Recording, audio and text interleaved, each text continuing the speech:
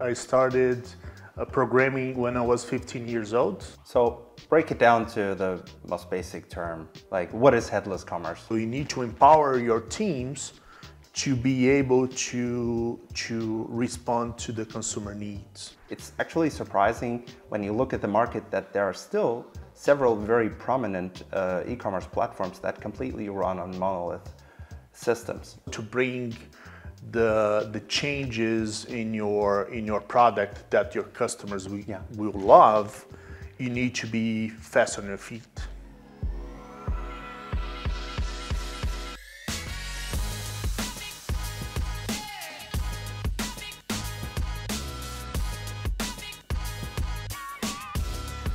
Hello and welcome to another episode of the EGN podcast. I'm your host, Efe von Thenen. Today we're joined by Fernando Fonseca, Global Domain Lead for Digital and Consumer at C&A. Fernando and I will be talking about C&A's recent adoption of a headless commerce platform.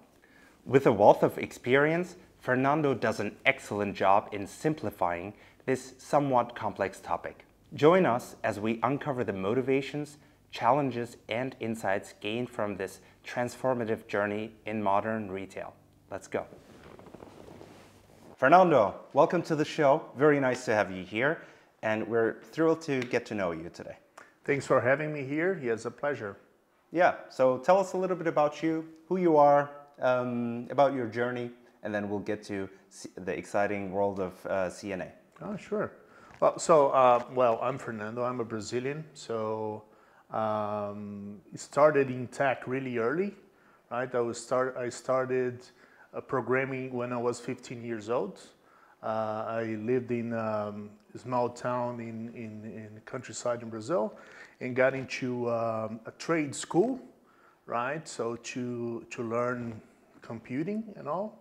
Um, so since then, I got into college and then uh, continuing to this journey.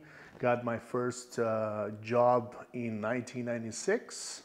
It's not that I'm too uh, old, it's just that I started really early. Yeah. But as a programmer, uh, Java programmer, and, uh, and Lotus Notes, so many people doesn't know about those technologies anymore. But then, uh, so right after college, I got into ecom already, working for uh, uh, a company called uh, Hotel Discount. It was the second biggest at the time uh, after Expedia. Right, they didn't go so well, but it was it was fun to right after college being in. Uh, Because you messed up the code, or I think the, the, the founder, yeah, uh, don't, don't get me there. Okay. But I'm not sure if he will be watching this, but yeah, let's see. hopefully not. Um, but uh, yeah, it was it was fun because uh, it was uh, some crazy engineers into a room doing extreme programming and and every design pattern uh, in the book for Java, so it was super fun.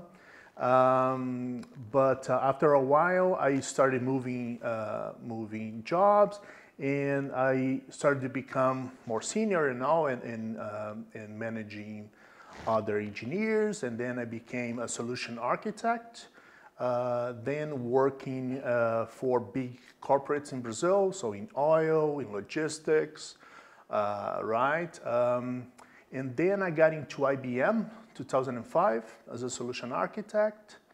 Uh, so after a while, I started to lead teams there as well. So, and that uh, was a wonderful ride because 10 years in IBM, I managed to, to go from software development to security to infrastructure.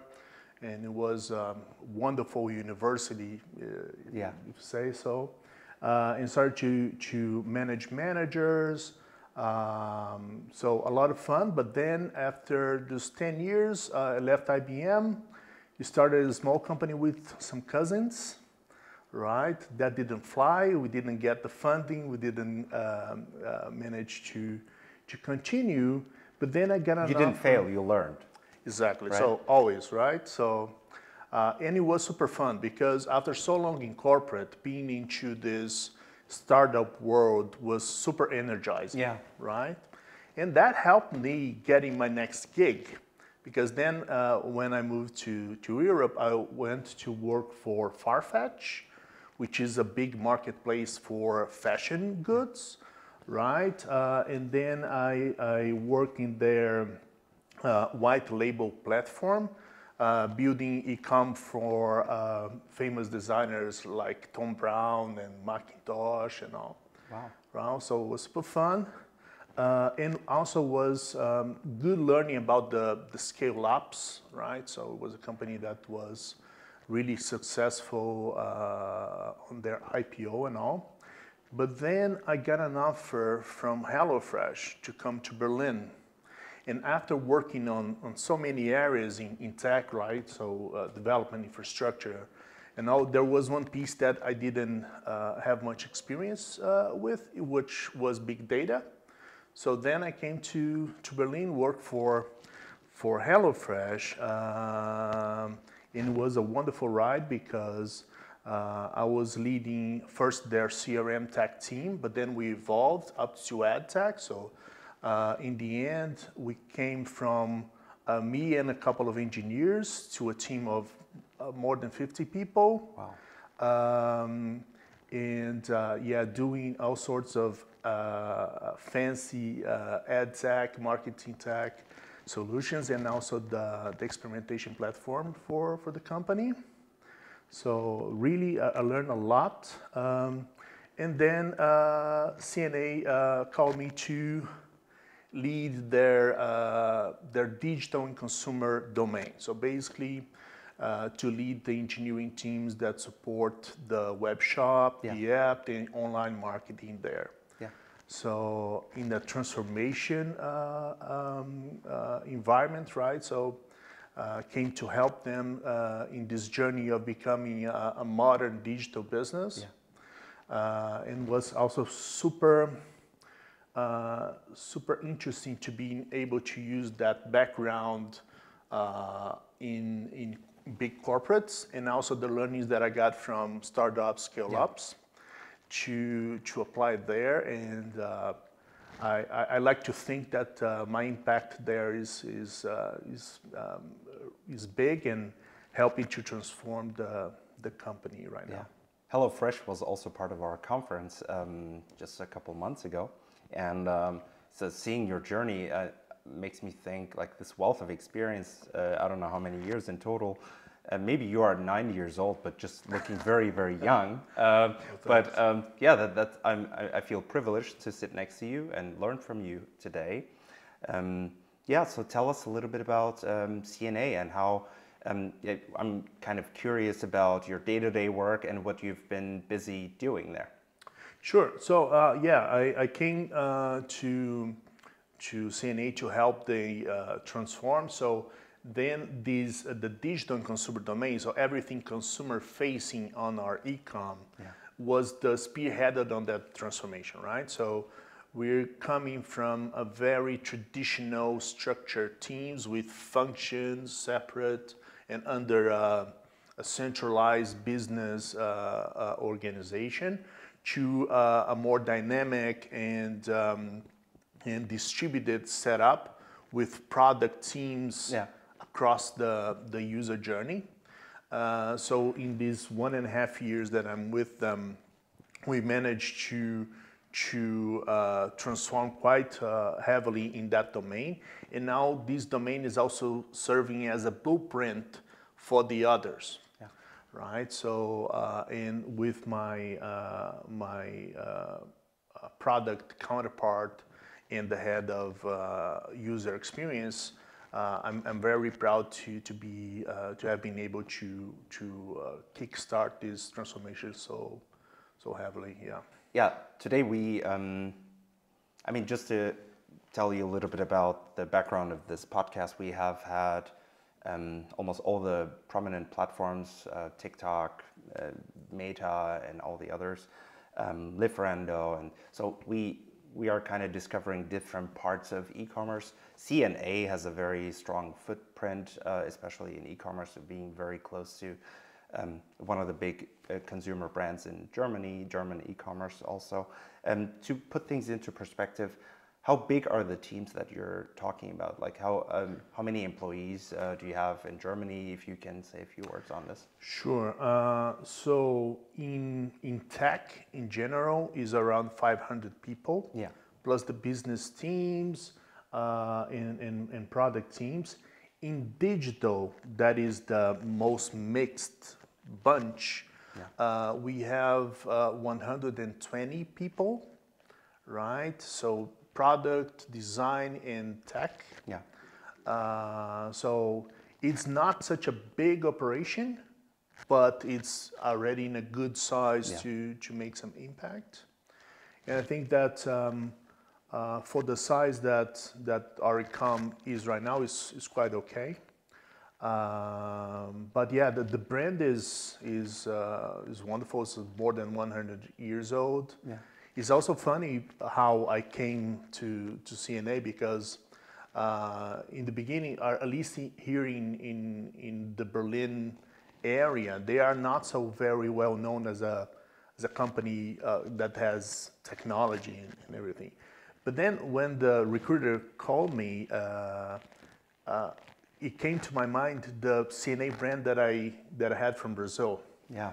and they're quite big over there. Uh, so they still are. They're still they are the second biggest retailer uh, in the in the country.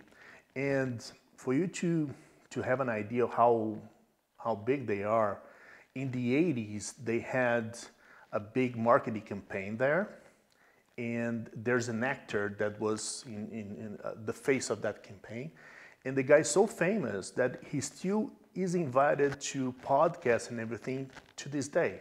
Yeah. So it's super funny how, how this is, but uh, yeah, when they called me, I thought, well, yeah, it's a, it's a big brand, and uh, yeah, it would it would be nice to, to, to take this challenge. How many markets are they in? Uh, in Europe, 18, right? So this is our organization. Uh, for example, C&A in Brazil already IPO'd. Yeah. So the, the founders, they still have a big stake there uh, in Canada and Asia as well. Yeah. But uh, right now, the, the C&A organization is around those 18 countries in Europe. Yeah. Wow. It's it's massive still. Uh, yeah. Um, yeah, and uh, let's let's maybe take a little bit deeper dive on what you've been busy doing with um, headless commerce. We we've talked about it in our previous conversation before the podcast episode.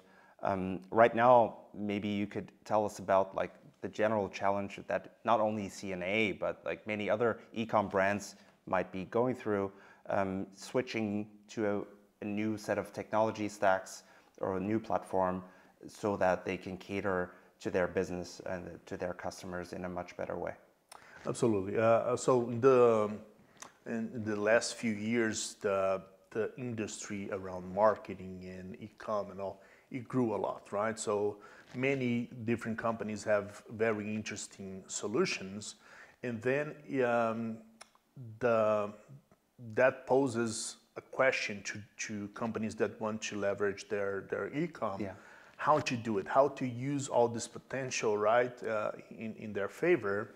And then it comes this, um, this talk about headless e-com, composable e-commerce, and all that.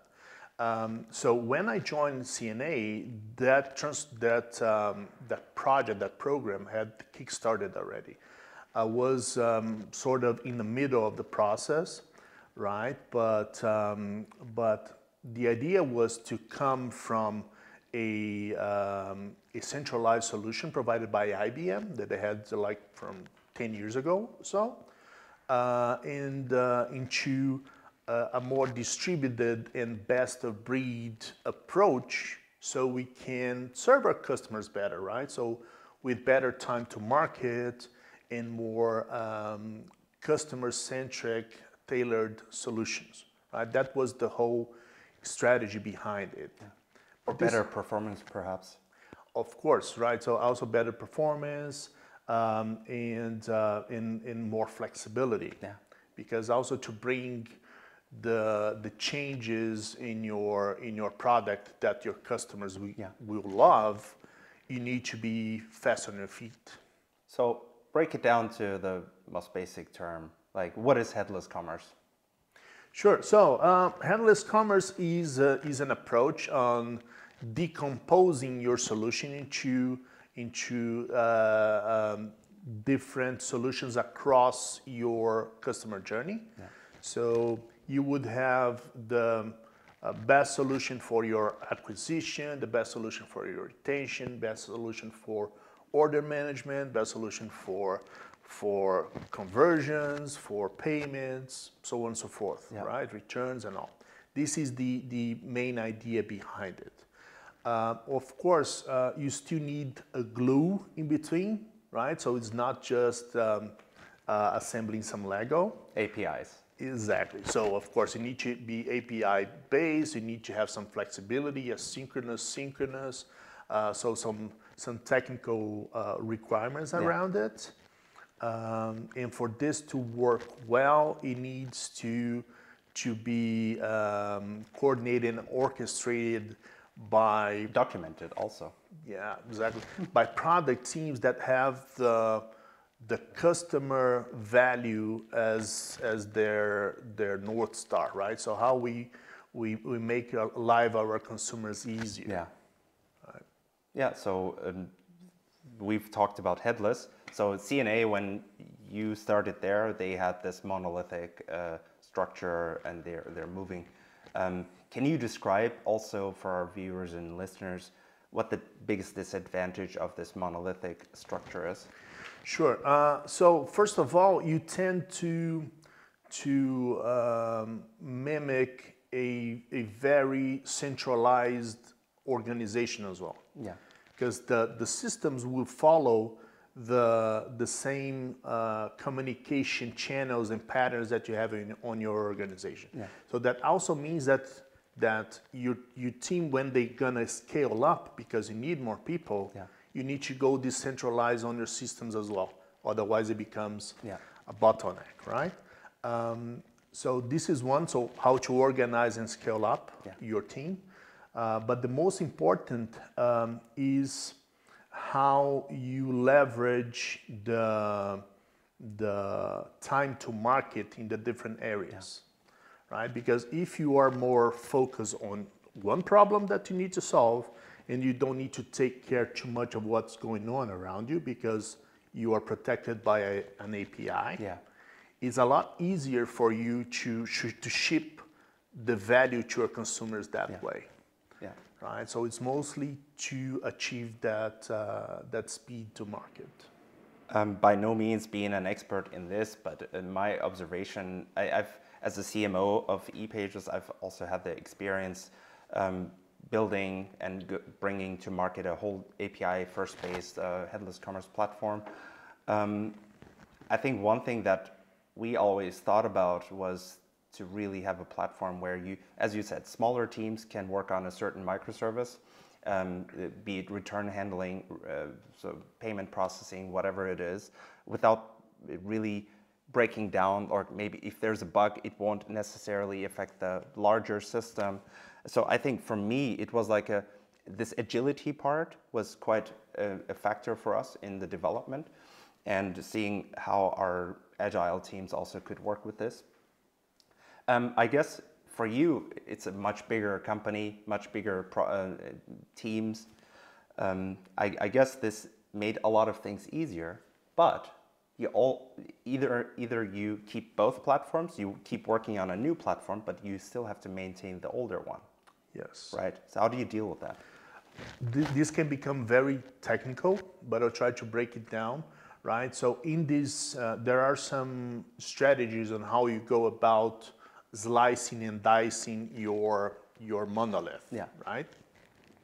So one thing that uh, I and I can't take any credit for it. It was uh, um, the people that were already there in CNN and take, they took a very clever uh, and well done first step, which was wrapping this, um, this monolith into a cloud infra infrastructure.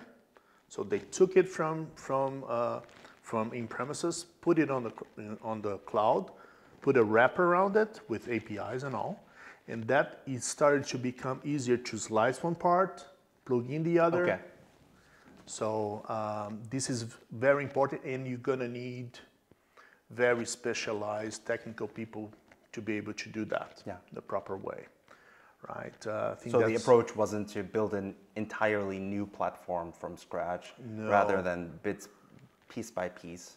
Yeah, so we need to change the the wheels with the buzz running, right? So uh, it's it's I think that for most companies that's going to be the case. So you're still gonna be using your monolith, and our monoliths are still there. We're gonna finish uh, carving it out this year, right? It's, it's sleeping. It's sleeping. There's a, a, a, a core uh, piece of it, but uh, yeah, we want to to carve it out this year. Hopefully, it's it's also very challenging, but uh, we're pushing for it. So at the end of this year, you'd be done with the monolith, um, no longer have to maintain this. That's right. That's right. Because it's yeah yeah it's huge, but it's still it can uh, it could be some challenges. For example, when we are launching new countries with different um, currencies and all. Uh, so after we we carve it out, then we're gonna be much much more uh, flexible uh, on our country launches and everything else. So you mentioned that these 18 markets in Europe will be run by one platform, probably. Yes. Yeah? Okay. Yes, and and we can plug in others and change much easier than before. Yeah. Okay. So um, does it also have a significant? Like, let's let's put ourselves in the shoes of. Okay, we- like, you- up until now we've been looking at it from the perspective of C&A employees or the engineering teams. Let's put ourselves in the shoes of the con- end consumer, just buying something on your website. What will be different? Uh, sure. For once, the, the performance of your uh, order uh, processing, right? So, how you're going to be able to um, process your return faster? Uh, how we're going to be able to plug in a, a delivery center closer to your home Yeah. more easily, right? And provide you a better experience.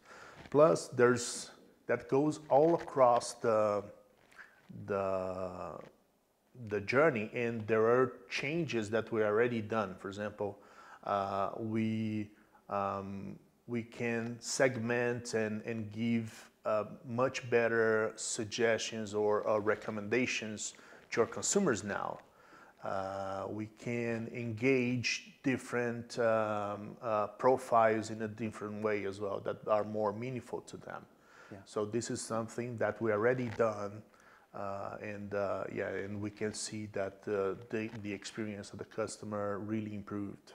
Yeah. And when you look at, let's say, you're you're launching new markets, um, you, can just basically add that as a module and um, just localize it with a certain locale and uh, just go from there. That's right. Yeah. That's right. That's a simplification, but it's like this because previously it took us months and months. Yeah. Right. So now it should take I don't know a few weeks to be able to do that. All that being said, makes me also think like this is based on the assumption that this headless commerce approach or API first approach is future proof. What if in five years there's a whole uh, different set of expectations from the market? Uh, how can you guarantee that, or is that even um, a thought process? Yeah, so this is a very interesting point because it can be a big pitfall for companies, Yeah. right? Um, so, as I said before, it's not just like assembling Lego. Yeah. So, I think that the way to be really uh, future proof is that you put uh, product teams around it, ar- around each part of the customer journey, because they are going to be able to uh, assess uh, the, the, the customer value and, and how the customers are responding to that solution. And they make the adjustments on the fly and even adjust the, the strategy because maybe one of, our, uh, of the solutions that we have on our portfolio is not, not fulfilling the customer needs anymore. Yeah. But since they are there looking at the data every day, they are the ones in the best position to make that decision. Yeah. Right? So you need to empower your teams to be able to to respond to the consumer needs. Yeah.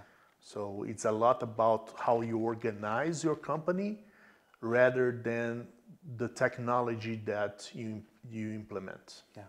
I think it's also worthwhile to mention the monolithic structures are also very hard to maintain these days because the Perl developers are um, like most new developers that come onto the market. They are interested in developing with a new set of uh, tech stacks that um, you know it, it's becoming also difficult to find the employees that manage and uh, maintain the platform. That's right. Um, well, so there's there are still some companies that they can operate with the monolith and still be fast Yeah. to market, right? Um, as I said, it's more like you organize your teams, and and being a technologist, I need to be a, a bit careful on how we approach the solutions, right? Because um, some of those. Uh, those, those words can, can become really trendy and sometimes they, they lose their meaning.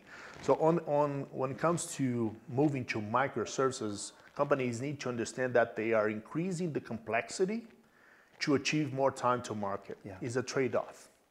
So for the size of your company and for how you are organized, you need to fine tune it Yeah. how how distributed I get for the size of the company and and uh, the necessities of, of the consumers. Yeah.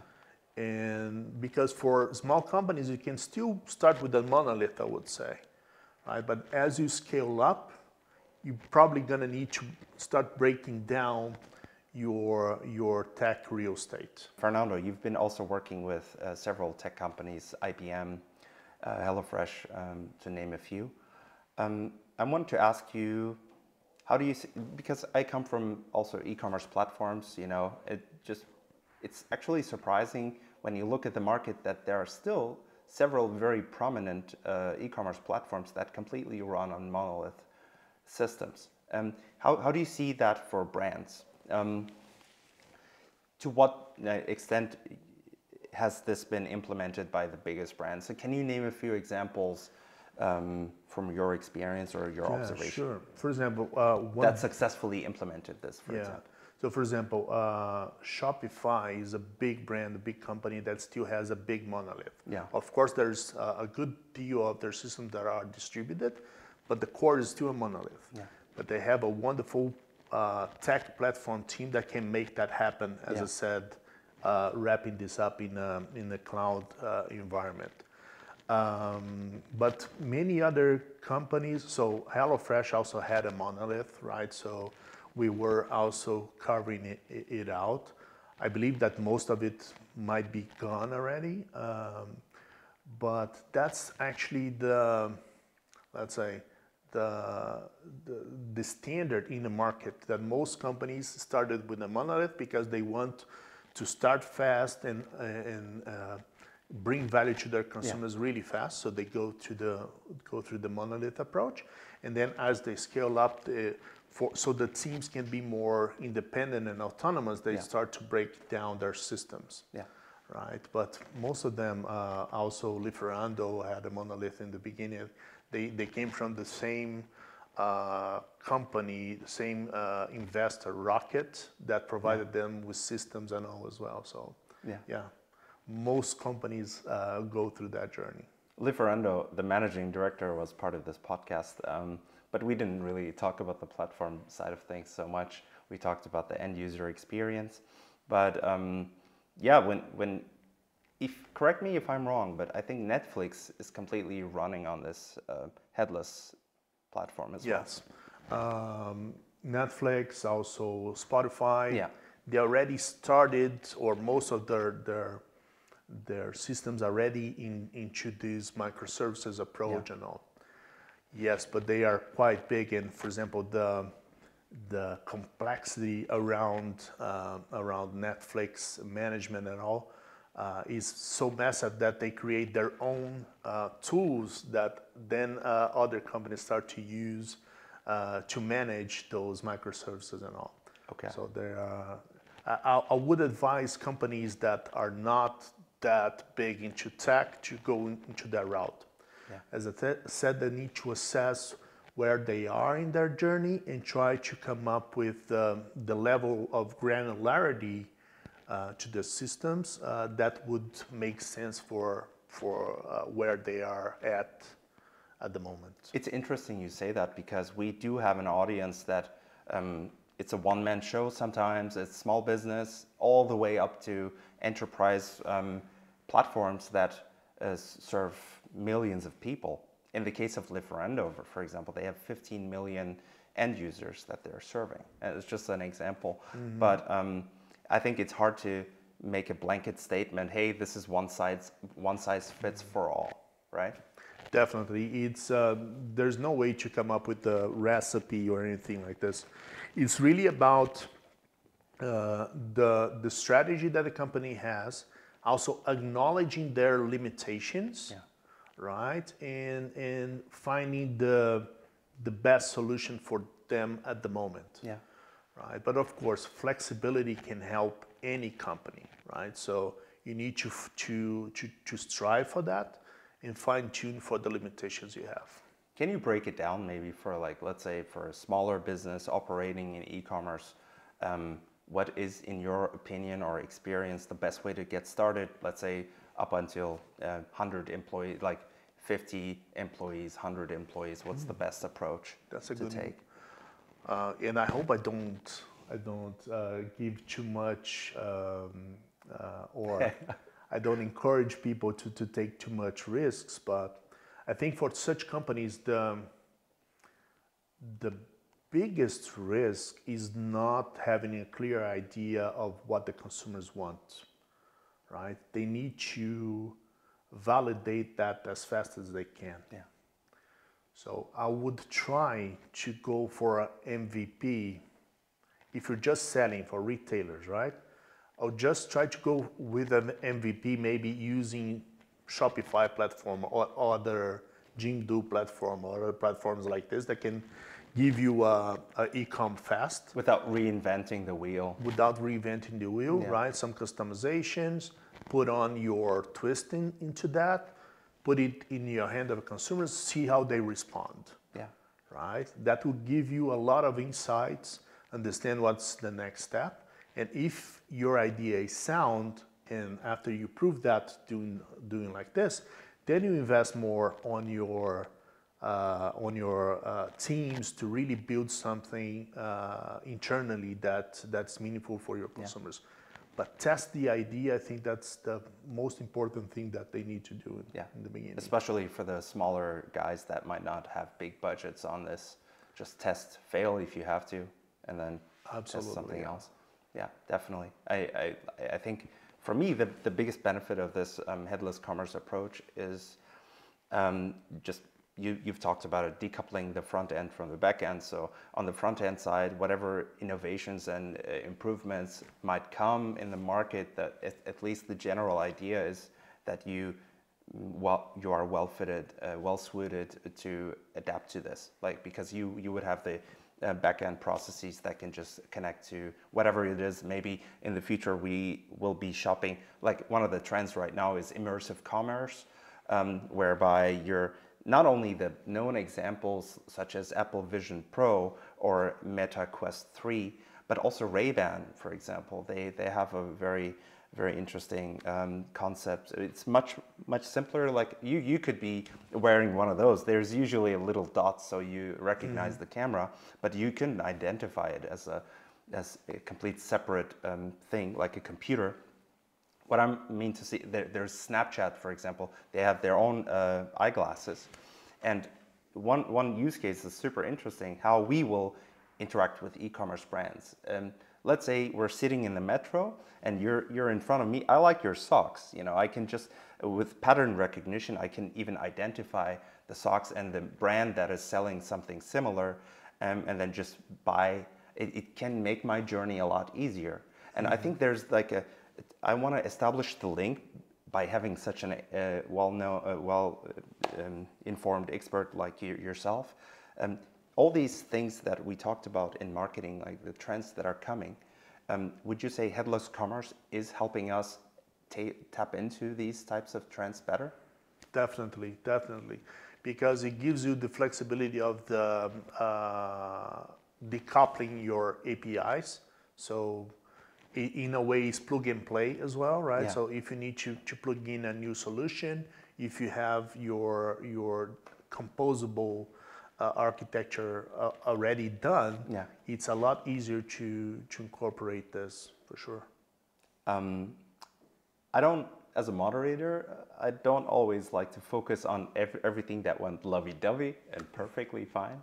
Um, I also want to ask you, what are some epic fails that you've seen? I mean, like you, you, some mistakes where you invested time, energy, efforts, and money with several teams. Um, I think it's also meaningful to talk about those. And sure. could you name us uh, maybe three examples or things that you've seen didn't work out well um, by yeah, sure, absolutely. a new platform. I won't be able to tell you what were the, the providers or right where because okay, but I can give you. Um, um, so one of them is um, having a, a, super sophisticated setup for the task that is not that so sophisticated.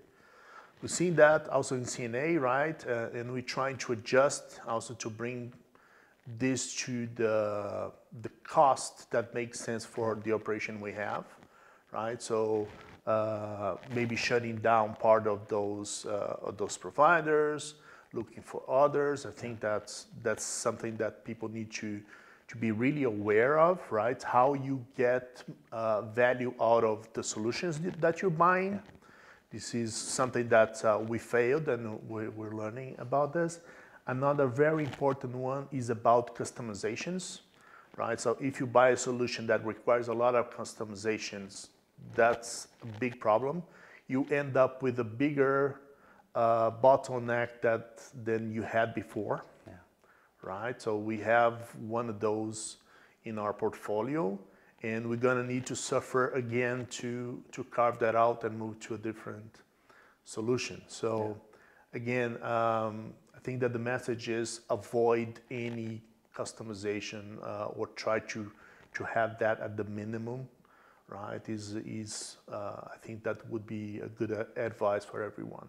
Yeah, sounds great, and um, I'm hoping that these insights from you will also be thought provoking, and if um, someone has further questions, um, they can always always reach out to you on LinkedIn. I, I believe. For sure, absolutely. And, um, yeah, so it's been a pleasure uh, to get to know you, Fernando, and also how you've gotten accustomed to the C&A brand all the way in Brazil, and just your, your, personal journey that even brought you to Germany, and um, having worked in several companies.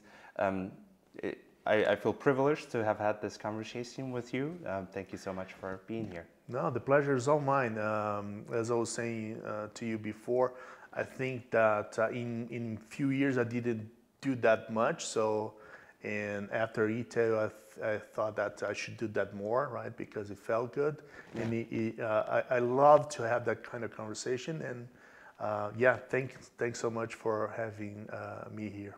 All right, see you next time. See you.